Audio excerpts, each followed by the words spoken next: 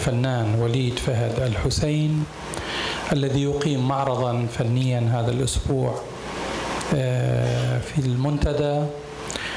آه، الفنان الحسين حاصل على درجة بكالوريوس تربية فنية من جامعة الملك سعود بالرياض ويعمل حاليا معلما للتربية الفنية بالهيئة بمدارس الهيئة الملكية بالجبيل الصناعية.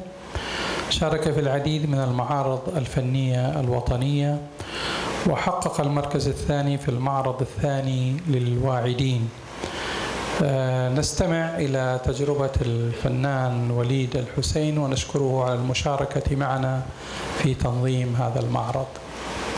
الضيوف الكرام السلام عليكم ورحمة الله وبركاته.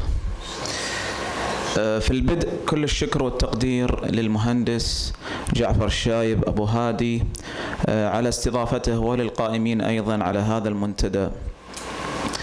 آه، مطلع الأسبوع الفائت آلمنا نبأ رحيل.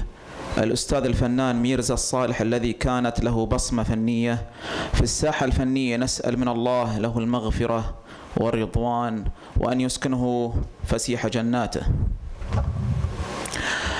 واقعا لا أفضل التواصل كلاميا لأن الفنانين التشكيليين لوحاتهم هي من تتحدث بما فيها من لون وشكل وهي التي تتواصل مع المتلقي فالألوان تتحدث والأشكال أيضا وبما تتركه من إيحاءات ودلالات ولكن نزولا عند رغبة أعضاء المنتدى حيث طلبوا مني بعض الدقائق.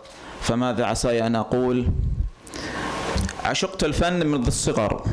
تأثرا بالوالد أطال الله, أطال الله في عمره حيث يعمل لنا وسائل تعليمية في أيام المدرسة وقت الابتدائية.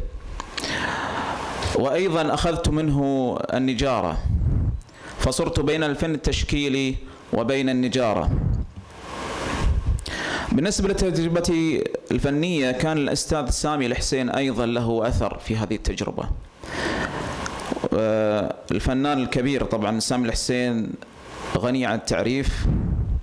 طبعا التجربة ذات مرحلتين. المرحلة الأولى هي المرحلة السريالية. السريالية هي التي تتضمن الخيال وأيضا خليط بين الخيال والواقع ولا معقول. أما الحروفيات طبعا عندي القسم الآخر أيضا حروفيات. الحروفيات بحكم الهوية العربية الإسلامية أردت تخليد الحرف العربي في لوحاتي ممزوجة باللون وبعض العناصر. مثلما عشقت الفن التشكيلي عشقت النجارة. لعلها الوراثة بحكم العائلة نشأت وبيدها المطرقة والمسمار. عشقت الأبواب التقليدية التراثية والنوافذ المقوسة. كلما أجوب في الحارات فكل هذا يصب في الفن والجمال. وشكرا مرة أخرى لمنتدى الثلاثاء الثقافي.